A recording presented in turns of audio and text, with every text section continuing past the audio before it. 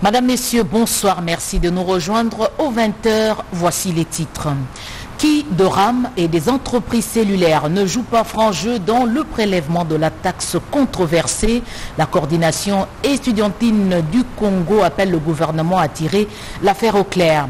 Des dans la distribution d'eau à Kinshasa ce week-end. Les installations de la régie des eaux Anjili, Lukunga, Lukaya sont sous l'eau. Conséquence, 60% des ménages quinois sont sacrifiés. Au sud Kivu, reprise provisoire du trafic sur les escarpements de Gaumont, mais le danger n'est pas écarté. Voilà tout pour les titres. Le développement, c'est dans une poignée de secondes.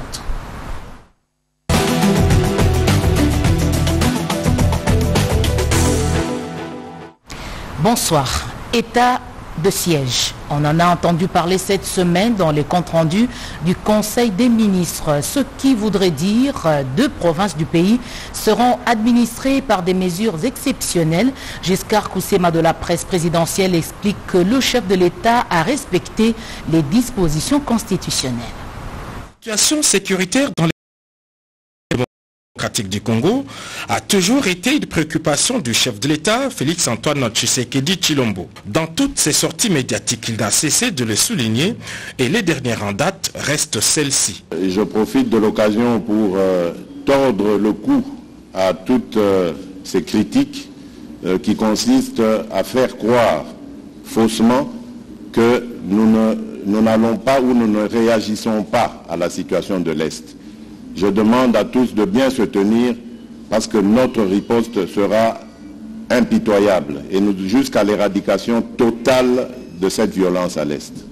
Je ne me lasserai jamais euh, de sensibiliser la communauté internationale par rapport euh, à des zones de violence en Afrique et particulièrement dans mon pays, la République démocratique du Congo à l'Est, où euh, il s'est créé maintenant un groupe euh, à tendance islamiste, au discours islamiste et aux méthodes islamistes, et qui sème la terreur auprès de nos populations.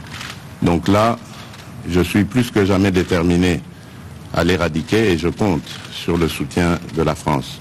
Conformément à la Constitution de la République, les garants du bon fonctionnement des institutions a réuni ce vendredi 30 avril le président des deux chambres du Parlement.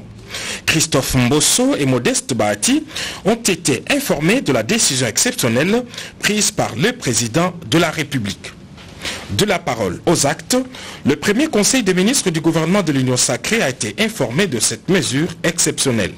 Au regard de la gravité de la situation, particulièrement dans certaines provinces de l'Est de la République démocratique du Congo, le président de la République, chef de l'État, commandant suprême de forces armées de la République démocratique du Congo et de la police nationale congolaise, a informé le Conseil de ministres de sa décision de proclamer, conformément à l'article 85 de la Constitution, un état de siège dans les provinces du Nord Kivu et des Littoris. Et ce, après concertation avec le Premier ministre et les deux présidents de chambre du Parlement, Conseil supérieur de la défense entendu. En sa qualité de commandant suprême des forces armées, le président Félix Antoine Tshisekedi Chilombo a convoqué dans la soirée de ce vendredi le Conseil supérieur de la défense. La haute instance sécuritaire de la République démocratique du Congo a entériné à son tour la mesure présidentielle.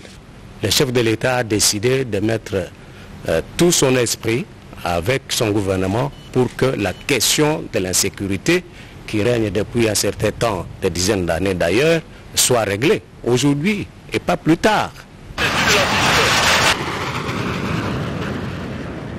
Ainsi s'ouvre dans les Nord Kivu et l'Ituri une période d'exception dictée par des circonstances qui menacent l'intégrité du territoire national. Durant la période de l'état de siège définie par l'ordonnance présidentielle, l'administration civile sera remplacée par une administration militaire chargée de rétablir la paix dans ces deux provinces. Ainsi, les gouverneurs du Nord Kivu et de l'Ituri ne retrouveront leurs fonctions qu'à l'issue de la période de l'état des sièges.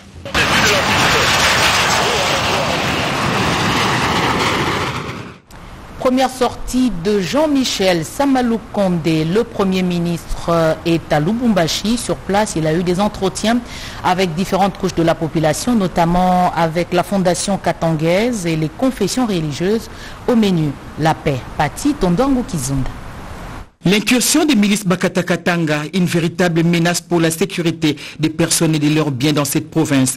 Face à cette situation, le Premier ministre Jean-Michel Samaloukonde Kienge, en séjour de travail dans cette province, n'a pas croisé les bras. Il a une séance de travail le dimanche 2 mai à la salle de banquet du gouvernorat avec la délégation de la Fondation Katangaise qui prône pour le dialogue. Nous avons songé qu'il fallait nécessairement qu'on puisse organiser la baraza, c'est-à-dire nous sommes des Africains, quand il y a des problèmes, il faut se mettre sous l'arbre à palabre et qu'on parle, qu'on organise. Nous avons vu à Benito Consort, il y a des insurgés qui sont venus. On les a accueillis et ils sont partis. Il faut qu'on les approche, qu'on sache qu'est-ce qu'ils cherchent et qu'on trouve une solution à l'amiable. Dans un autre registre préoccupé par le problème de la paix, de la sécurité et l'amélioration du social de la population katangaise, les représentants des confessions religieuses ont eu une imprévue avec les chefs du gouvernement Jean-Michel Samalou Konde Kenge, avec à sa tête le révérend pasteur Emesto Miji, représentant des églises des réveils du Haut-Katanga. En bon les hommes de Dieu ont opté pour la sensibilisation de la population sur la paix et la sécurité en mettant un accent sur l'amour du prochain. Les résolutions que nous avons prises, euh, c'est celle de sensibiliser parce que les 80 ou les 90% de la population pris quelque part. Notre message passera et pourra trouver un écho favorable de sorte que chacun puisse s'aligner dans le schéma de la paix, de l'unité et de la concorde nationale. La mission de travail du chef de l'exécutif national Jean-Michel Samalou Konde Kienge dans le Haut-Katanga se résume par la lutte contre l'insécurité dans cette province. La ministre soudanaise des Affaires étrangères est à Kinshasa. Mariam Al-Mansoura vient exprimer le soutien de la RDC à la tête de l'Union africaine. Elle a été accueillie au pied de l'avion par Christophe Lutundula, chef de la diplomatie congolaise. Doris Mozotambwe, Henri Amouri. Avec la présidence de l'Union africaine, la RDC est au centre des différents intérêts. L'action diplomatique menée par le chef de l'État, Félix Antoine Tshisekedi Chilombo, son leadership participe au rayonnement du pays et surtout convaincant les partenaires et amis de la République démocratique du Congo que les solutions sont possibles. Mariam Al-Mansoura Al-Zadjid, ministre soudanais des Affaires étrangères, est arrivée à Kinshasa ce dimanche en début d'après-midi. Le vice-premier ministre, ministre des Affaires étrangères et de la coopération internationale, Christophe Lutundula, le chef de la diplomatie أنا سعيدة جدا إني مرة أخرى بجي كنشاسة الجميلة je suis très contente de revenir encore une fois à la belle Kin, Kinshasa la belle. Et je renouvelle mes félicitations aussi pour la présidence de l'Union africaine, euh, pour le président Tshisekedi. Euh, nous sommes ici euh, pour confiance la présidence de l'Union africaine, la confiance en la personne du président Tshisekedi et de, aussi de montrer notre point de vue, d'exposer notre point de vue sur le deuxième remplissage du grand barrage éthiopien. Son programme à Kinshasa prévoit la rencontre avec le chef de l'État, Félix Antoine Tshisekedi Chilombo, et d'autres autorités de la République. C'est du provisoire. Le trafic a repris sur les escarpements de Ngomo au sud Kivu. L'éboulement avait complètement coupé la route. Malgré la reprise, le danger est encore permanent. Le trafic a repris provisoirement dans les escarpements d'Engomo après des travaux effectués par l'Office des routes Sud Kivu. Coupée dans la nuit du 3 au 4 avril par un éboulement, la route a été réaménagée par l'Office des routes, ce qui a permis le passage des véhicules légers et des gros camions non sans risque car il suffit d'autres pluies pour que la route soit encore emportée étant donné qu'elle n'est pas protégée par un mur de soutènement, comme le confirme le directeur provincial de l'Office des routes Sud Kivu. la magie est simple, c'est seulement le travail. Nous sommes efforcés. Aujourd'hui, ce qui est vrai, les gens qui ne croyaient pas que l'Office des routes pouvait faire ce travail en deux semaines, Maintenant, il va passer. Vous voyez les réalités, les véhicules passent calmement. Mais ce n'est pas fini. Nous demandons au gouvernement central de financer maintenant la construction de murs de soutènement. Il y en a plusieurs.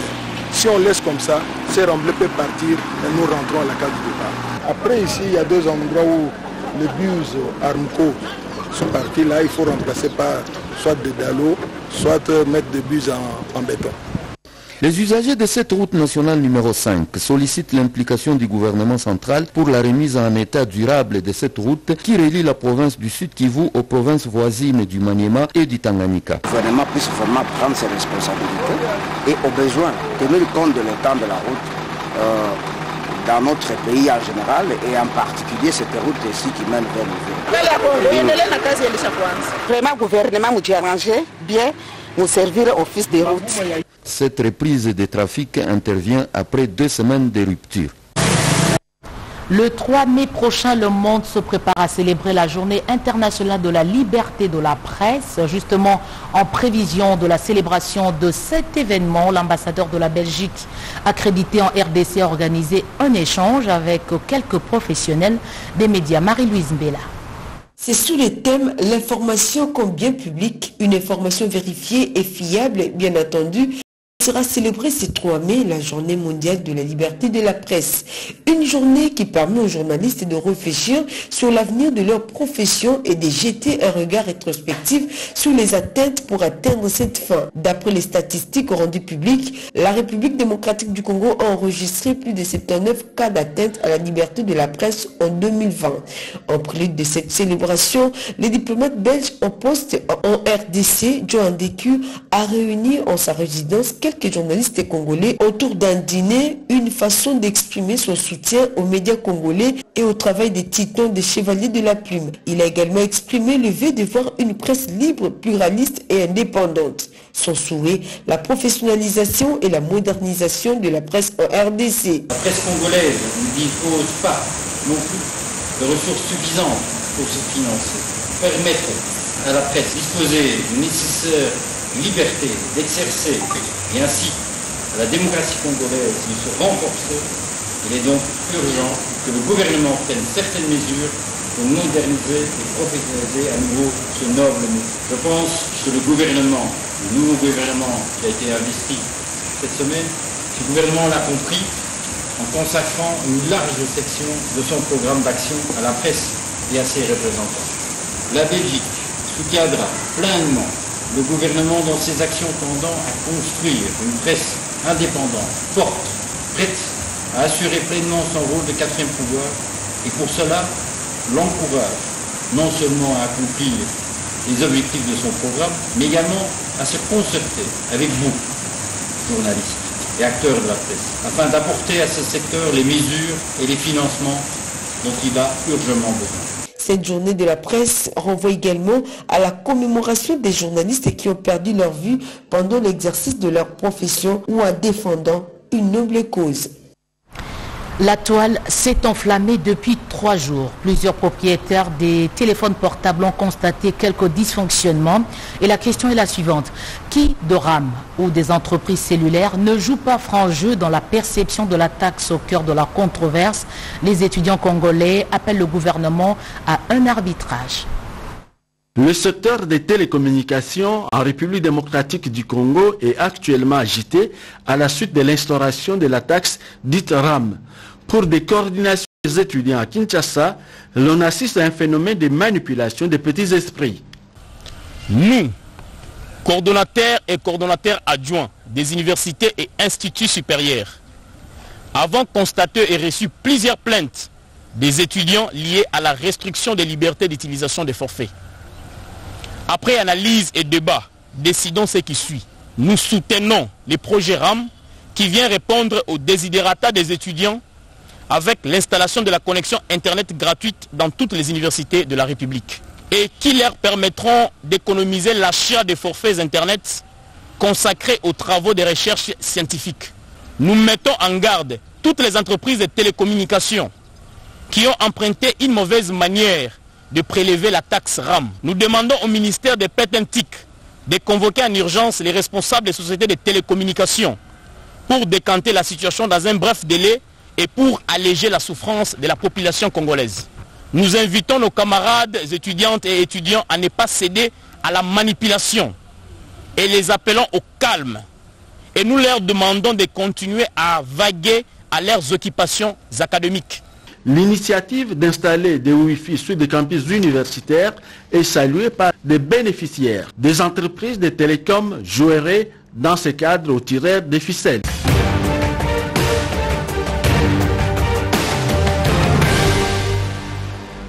Premier conseil des ministres du gouvernement Sama, c'était le vendredi dernier autour du président de la République Félix-Antoine Tshisekedi Chilombo. Toujours cette semaine, le chef de l'État a rencontré à Paris son homologue français. Emmanuel Macron a promis le soutien de son pays à la RDC dans la lutte contre les groupes armés. La semaine du président Pierre Kibambeso Moïsa. À l'invitation de son homologue Emmanuel Macron, le président de la République Félix-Antoine Tshisekedi Chilombo a effectué un séjour de 48 heures à Paris, en France. Le président de la République française s'est dit heureux d'accueillir le président de la RDC à Paris avant de le féliciter pour les échéances politiques intérieures franchies avec succès et pour la modernisation de la vie démocratique au pays. Les deux chefs d'État se sont prononcés en faveur d'un processus de transition au Tchad qui doit ouvrir la voie à la démocratie et à la stabilité du pays. Ils ont exprimé la détermination de mettre fin, avec le soutien de la France, aux violences dans l'est de la RDC où des groupes armés terroristes sèment la terreur auprès de la population. Arrivé à Kinshasa en visite de travail de 72 heures, le président du Conseil européen Charles Michel a été reçu au Palais de la Nation pour un tête-à-tête avec le président de la République, président en exercice de l'Union africaine Félix Antoine Tshisekedi Chilombo. Les entretiens ont été ensuite élargis aux officiels de l'Union européenne et de la RDC, parmi lesquels le Premier ministre Sama Lukonde, le vice-premier ministre et ministre des Affaires étrangères Christophe Lutundula et le directeur de cabinet de chef de l'État Guylain Yembo. Divers sujets d'intérêt commun entre la RDC et l'Union européenne, le partenariat stratégique entre l'UA et l'UE, des problèmes liés au mécanisme de résolution de la crise sécuritaire dans l'Est de la RDC sont autant de questions débattues au cours de l'entretien du chef de l'État avec le président du Conseil européen.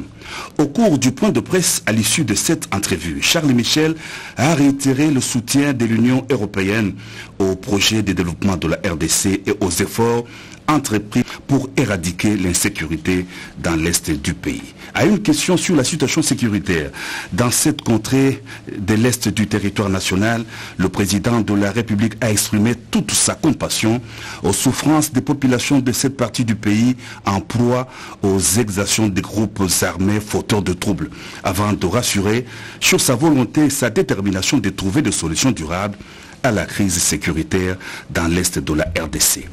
Premier conseil des ministres du gouvernement de l'Union sacrée de la nation sous la haute direction du président de la République Félix-Antoine Tshisekedi Chilombo.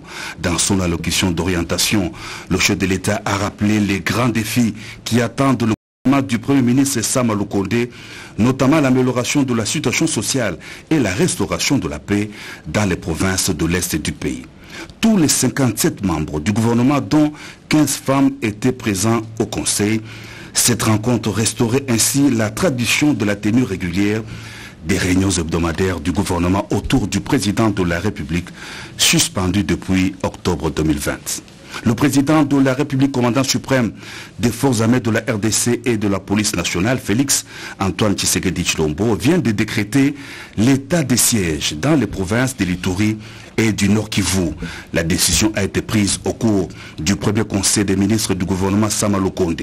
Le vendredi, dans la soirée, après le conseil des ministres, le commandant suprême des forces armées de la RDC et de la police nationale a présidé à la cité de l'Union africaine le conseil supérieur de la défense. Au sortir de cette réunion, le vice-premier ministre, ministre de l'Intérieur, Sécurité, Décentralisation et Affaires coutumières, Daniel Asselo Okito Wankoy, a indiqué que le chef de l'État a décidé de concentrer les efforts sur la question des sécurités dans l'Est du pays afin d'y restaurer définitivement la paix.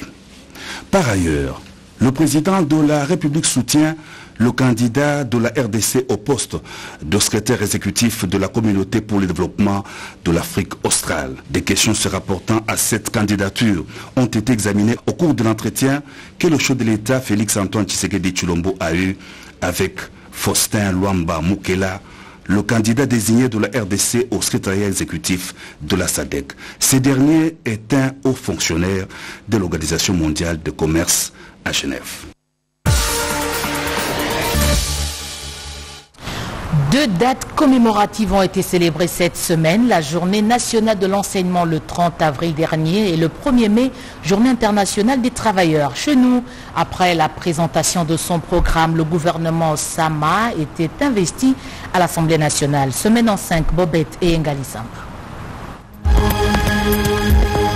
Les lignes ont bougé en semaine et l'investiture tant attendue est là. 410 voix sur 412 votants ont approuvé le programme du gouvernement Sama présenté à l'Assemblée nationale. 36 milliards de dollars américains, c'est la proposition du budget de ce programme d'action de 3 ans assis sur 15 piliers et reparti en quatre grands secteurs. Le Premier ministre Jean-Michel Sama a promis de prendre en compte les différentes observations des députés pour mener à bien ce programme. Au lendemain de l'investiture, les Warriors devaient prendre possession de leur bureau. D'abord à l'hôtel du gouvernement, Sylvestre Ilunga Ilunkamba a cédé son fauteuil à son successeur Samalou Kondé qui doit mener à bon port le bateau du gouvernement de l'Union sacrée de la nation.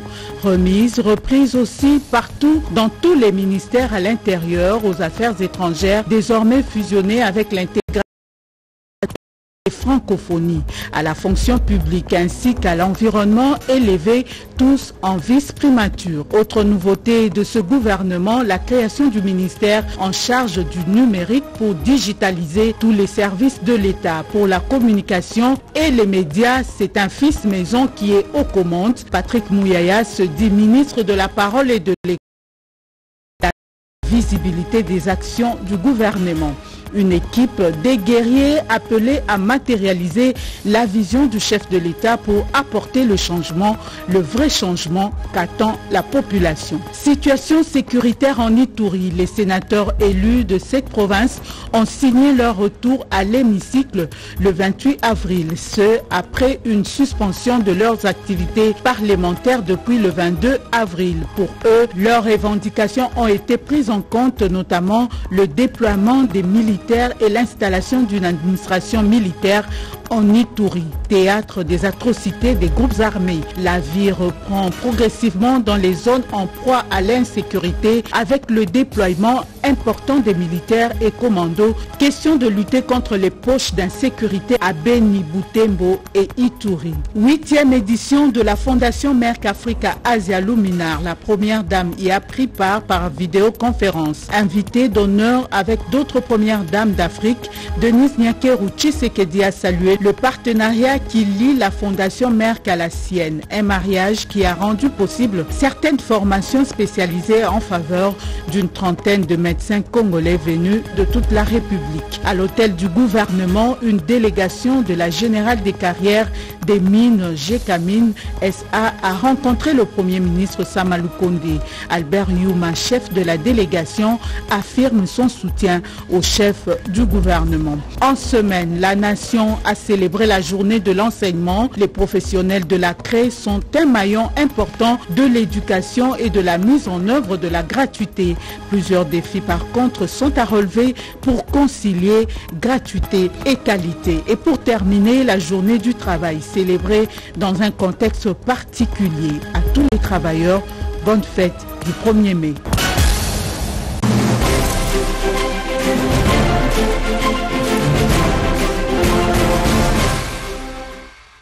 C'est parti pour la partie magazine de ce journal. Les routes secondaires, oui, mais pas pour augmenter les embouteillages. C'est le constat fait malheureusement dans la capitale sur la route Kulumba, c'est vers la Tchangou. Par contre, celle-là abandonnée, la route Sekomaf, elle relie Kinshasa au Congo central. Elle devient un dépotoir. Angèle Mabiala Landou et Elitumba ont fait le déplacement de cette route. Dans la ville de Kinshasa, il existe des routes certes présentées comme secondaires, mais qui jouent un rôle essentiel pour faciliter la circulation à l'intérieur de la ville et ou faciliter la sortie de la ville vers les provinces voisines. C'est le cas de la route de Sekomaf qui commence au quartier 1 dans la commune d'Enjili et débouche dans le territoire de Madimba. Nous sommes là au Congo central. Cette route va jusqu'au Congo central. Si elle est réhabilitée, il n'y aura plus d'embouteillage. Nos marchés seront inondés, même la caillasse, le sable qu'on utilise pour des grands chantiers passe par cette route secondaire. L'avenue est devenue une poubelle. Ce n'est pas normal. Il y a des nids de poules partout. Personne ne réagit. Surtout quand il pleut. C'est grave par ici. Un autre cas, et pas le moindre, c'est l'apport de l'avenue de la Paix. Elle longe pour rejoindre finalement Kimwenza. Le manque d'attention de l'autorité sur l'intérêt qui régorge cette route explique le choix que la direction des infos TV a fait pour rendre visibles les dimensions cachées de ces routes. Si au début, l'on a aperçu dans la réhabilitation de la route Kulumba comme une solution, il nous semble que c'est une solution encore limitée, car Kulumba quitte le boulevard Lumumba pour se jeter de nouveau sur ce même boulevard en renforçant à nouveau les embouteillages. C'est une bonne idée de créer cette route secondaire, mais elle devrait aller jusqu'en ville. Sinon, ils n'auront rien fait.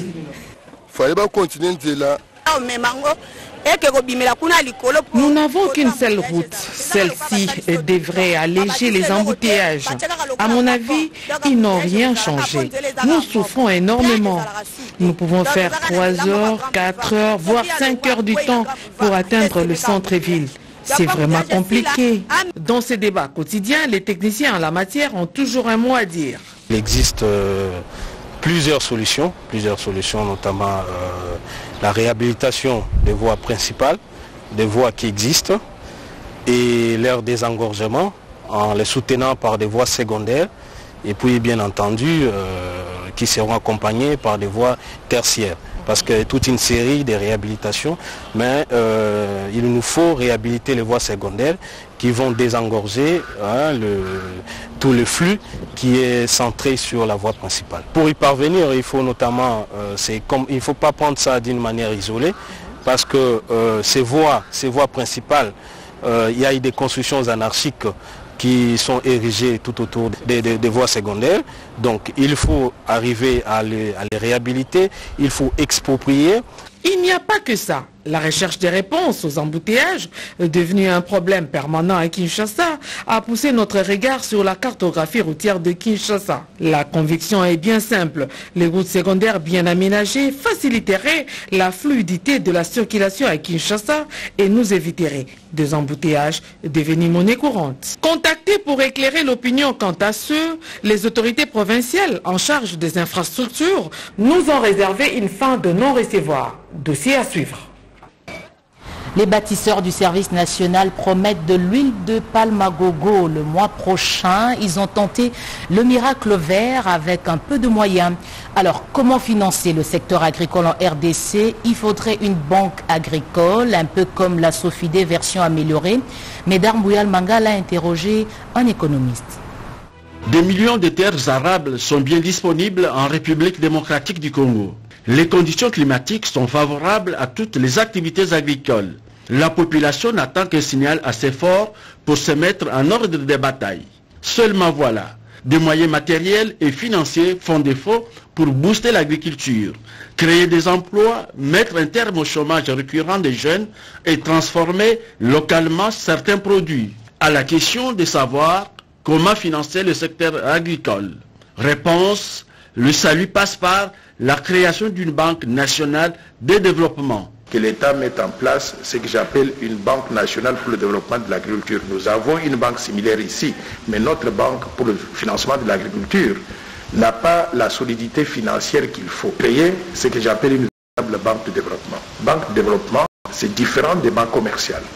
Parce que les banques commerciales ne prennent pas des secteurs de, de qui sont supposés être Sofidé, mais la Sofidé était trop petite. Moi, je l'appelle la Banque internationale pour la reconstruction et le développement de la RDC, qui pourrait absorber les restes de la société, qui pourrait absorber industriels et il y a une petite unité qu'on appelle euh, la cellule d'appui aux petites et moyennes entreprises. On peut mettre tout ça ensemble, élargir le capital considérablement, y amener des bailleurs de fonds comme actionnaires et en ce moment-là, cette banque pourra avoir des muscles financiers suffisants pour financer des grands projets dans des domaines différents. Le domaine des infrastructures, le domaine de l'agriculture, le domaine de l'élevage, de la pêche, le domaine du tourisme, tous les secteurs qui sont négligés actuellement par les banques commerciales. Le choix des mieux faire et la discipline sont des atouts pour surmonter des obstacles en envisageant la mécanisation agricole à grande échelle, la distribution de semences améliorées aux paysans et la maîtrise des techniques culturelles, le service national accru au miracle vert avec peu de moyens. La quantité d'eau que Dieu nous donne dans cette zone, nous pouvons faire la saison A et la saison B en une seule année. C'est-à-dire nous commençons, comme la, la pluie commence au mois d'août, nous semons au mois de septembre, nous récoltons au mois de février, nous semons au mois de février, nous récoltons au mois de mai. Facilement, avec Ngandajika et Kanyamaka CC, nous pouvons produire 800 000 tonnes annuellement. Mais en plus de ça, nous pouvons renforcer avec l'encadrement des paysans. S'ils sont en train de produire dans cette zone 500 000 tonnes, nous pouvons aussi doubler leur production juste en mettant la semence améliorée à leur disposition. Nous rêvons parfois, nous pensons qu'il faut de bons moyens pour faire des choses que nous voyons. Non, l'huile végétale ici que nous faisons n'exige pas beaucoup de moyens. Je vous promets que d'ici le mois de mai, juin, à Kanyamaka, vous verrez que les bâtisseurs, que les services nationaux est en train de produire de l'huile végétale. Donc rien avec l'agri, on jette rien, tout c'est de l'argent. Investir dans le secteur agricole est un défi de taille à surmonter. Objectif, mobiliser d'importantes ressources financières pour faire face à cette exigence. La faillite de la Banque de crédit agricole et de la SOFIDE ont semé le doute au sein de la population congolaise. Au Lualaba, le gouvernement provincial va bénéficier de l'apport d'une firme sud-africaine pour poursuivre la construction des centres de négoce. Explication redépendent. La société minière Sud-Saft ensemble avec ses partenaires, s'est engagé à accompagner la province du Lualaba dans l'exploitation de ces minéraux en y apportant son expertise avec, entre autres, un appui technique et financier pour la finalisation des centres de négoce, le renforcement des capacités des exploitations artisanales à travers les programmes de semi-mécanisation et l'appui aux efforts d'industrialisation de la province. nous avons été agréablement surpris de voir ce que Sud-South est en train de faire, réunir les utilisateurs finaux, réunir non seulement ces utilisateurs, il fait aussi introduire ce que nous avons vu par rapport à Industry 5 et RMI, Centrine, ce que nous avons vu aujourd'hui, toutes ces entreprises Sud-South a amené le manque à suffisance, qui sont quand même outillés, qui sont capables de pouvoir ramener les investisseurs pour venir voir d'où vient la production de ce qu'ils sont en train d'utiliser en finale. Pour la matérialisation de ces projets sur invitation du gouverneur AI du Lualaba, Madame Fifi Masuka a échangé avec les responsables de Industry 5, M. Chrissa Bach, à qui elle a confirmé l'approbation de l'exécutif provincial. Répondre à l'invitation du gouvernement provincial sous l'impulsion de Madame le gouverneur de province afin de pouvoir discuter des possibilités d'accompagner le gouvernement provincial dans ses efforts, dans sa vision d'industrialisation de, cette province pour le bienfait des communautés locales. Une vision claire quant à un partenariat à mettre en œuvre pour euh, rendre concret la vision d'industrialisation de la province, et ce en commençant par euh, une assistance technique et financière à mettre en œuvre en rapport avec euh, la finalisation du projet de centre de négoce de Sonko. Ensuite, la mise en œuvre d'une solution intégrée quant à la gestion opérationnelle du centre qui a pour finalité d'assurer la commercialisation des minéraux stratégiques dont le cobalt en vue d'augmenter les revenus de la province, améliorer la capacité des populations locales et vulnérables de pouvoir profiter de cette manne essentielle à leur épanouissement et à leur développement, et naturellement contribuer à changer, révolutionner le visage de l'eau. L'eau n'a pas coulé chez vous, c'est parce que les usines de la Régie des eaux sont à l'arrêt, à Njili, Lukunga et Lukaya pour ne pas tirer de l'eau boueuse. Les dernières pluies tombées sur la capitale, favorisées par les constructions anarchiques, ont submergé les installations de la Régie des eaux. Nos reporters Serge Mata et Maurice Mbewa sont arrivés sur les lieux. Regardez. Nous sommes dans la plus grande pourvoyeuse d'eau de la ville, à l'usine de traitement d'eau d'Enjili. Dans l'usine de traitement d'eau de la Lukaya et de Lukunga, tout est calme. De la tour d'arrivée d'eau brute alimentant chaque fil de traitement de cette usine en passant par les différents décanteurs à la salle de refoulement d'eau vers le réseau de distribution, tout a été mis à l'arrêt. On y entend seulement les chants d'oiseaux. Et pour cause, la forte pluie qui s'est abattue dans la capitale dans la nuit de vendredi à samedi a eu pour conséquence la montée des eaux de la rivière Njili qui n'a pas épargné et affecté les installations de l'usine de captage d'eau brute d'Njili. Sur place, les canaux d'aspiration d'eau brute de ces complexes ont été littéralement submergés par les eaux polluées, la rivière Njili où se trouve l'usine de captage d'eau brute. Du coup, plusieurs communes de Kinshasa ont été privées d'eau potable. Au nom de toutes les autorités de la régie des eaux, euh, plus particulièrement le directeur général M. Clément Moubiaïn Kachama, nous l'avons toujours dit, on l'a dit la fois passée, à chaque fois qu'il y a des fortes pluies et à cause, n'est-ce pas, des occupations anarchiques, vous êtes en train de le constater, derrière moi là, vous voyez, c'est les canaux d'aspiration des eaux brutes par les pompes. Et tous ces canaux-là sont pratiquement submergés par les eaux brutes. Donc à cause de construction anarchique. Et voilà, cap sur le Haut-Katanga. Initiative Plus gagne du terrain à l'intérieur du pays. Euh, cette structure appartenant à l'ex-première dame de la République, Marie-Olive Lembe Kabila, vient d'installer une nouvelle section à Lubumbashi. C'était le 1er mai dernier. Anita Luambois. C'est une ambiance électrique qui a régné le samedi 1er mai au chapiteau Arc-en-Ciel, lieu choisi par l'ASBEL Initiative Plus pour la célébration de la Journée internationale du travail. Placé sous le thème Le travail, source d'autonomisation financière de la stabilité du ménage, thème choisi par l'ASBEL Initiative Plus. Une cérémonie couplée avec l'installation officielle du comité provincial Initiative Plus Olive Lembe Kabange de la province du Haut-Katanga. Moment fort de la cérémonie, la remise des attributs du pouvoir par Olive Lembe Kabila à Chimène Mercedes, coordinatrice provinciale de l'IPOLC Katanga. Une journée spéciale du 1er mai, marquée par la plaidoirie de la présidente de l'ONG Initiative Plus, qui invite le gouvernement de la République à sécuriser les petits producteurs dans la zone de libre-échange.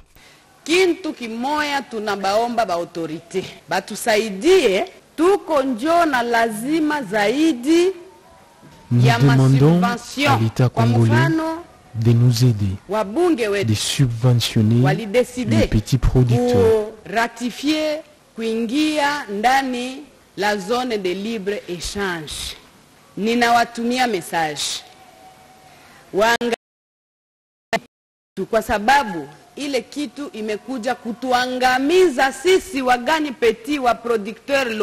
cours de cette journée, les intervenants, le docteur Ntalaja et le docteur Félix Momat, vice-ministre honoraire du budget, ont démontré l'importance du travail de la femme, mais aussi comment protéger leur santé. L'équipe de Hipolk du Haut-Katanga a saisi aussi l'occasion pour remettre des tableaux à leur présidente, une manière de l'encourager dans sa vision. L'épouse de Joseph Kabila Kabangé a ensuite offert un repas en l'honneur des travailleurs de la province du Haut-Katanga. Politique, le Palou prépare son deuxième congrès. Il aura lieu le 22 août prochain, annonce faite par le secrétaire permanent intérimaire de ce parti, Godefroy Mayobo. L'ambiance était au rendez-vous et à son comble. Ce samedi 1er mai 2021 au siège du parti lumumbiste unifié Palou. Situé à Débonhomme dans la commune de Matete, ce lieu légendaire, à la fois mythique et historique, a refoulé du monde venu en masse prendre part à une grande matinée politique telle une démonstration de force populaire réalisée par le secrétaire permanent AI de cette formation politique, Godefroy Mayobu, héritier idéologique du vénérable Antoine Gizenga. Dès l'entame de son speech, les loyalistes et légalistes, secrétaire permanent Godefroy Mayobu a de prime abord brossé le travail de qualité effectué par le comité exécutif pour approbation. À l'issue de ce vaste travail, il en résulte que le PALU est resté fidèle à l'idéologie et à la vision des pères fondateurs de ces partis, tiendra son congrès le 22 août 2021 à Kinshasa, date marquant la naissance même de cette force politique. Vous savez, le 22 août, c'est la date de naissance. À la date de naissance, il y aura la renaissance. Il y aura la refondation. Un congrès de rassemblement. Un congrès d'unité. Un congrès qui va annoncer le Nouveau Testament appuyé sur l'Ancien Testament appelant les lumumbistes nationalistes, légalistes et loyalistes à braver la peur, à se préparer en vue de la réussite totale de ces congrès, lesquels sera vécu par 95% de membres du parti et permettra à ces derniers de se requinquer et de se réagardir. On termine par ce communiqué officiel de l'ARPTC qui souhaite clarifier certains points liés au registre des appareils mobiles. RAM, il importe de confirmer les éléments suivants. Aucun appareil mobile se trouvant sur le territoire national n'a été bloqué par l'ARPTC ou le RAM qui laisse tous les utilisateurs d'appareils mobiles en RDC libres d'utiliser pleinement leurs appareils. Aucun transfert de monnaie électronique n'a été interrompu par l'ARPTC ou le RAM. L'Internet mobile activé reste pleinement disponible. Quelques problèmes d'activation de forfait ou d'unité ont été observés sur certains numéros d'un opérateur en particulier qui prend en ce moment toutes les dispositions pour revenir très rapidement à la norme. Nous rappelons, dit ce communiqué officiel à la population, que le RAM est avant tout une initiative au bénéfice des Congolais et aux bienfaits divers pour les utilisateurs d'appareils mobiles. Pour toute information liée au RAM, veuillez consulter le site web dédié www.ram.cd.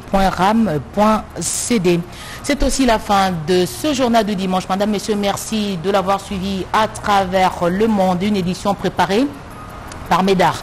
Mbouyal Mangal, réalisé par Fifi Bokeme et Patti Kwedi. Grand merci à l'équipe technique de ce soir, Julien Piana, Henri Alimassi et Héritier Katendi.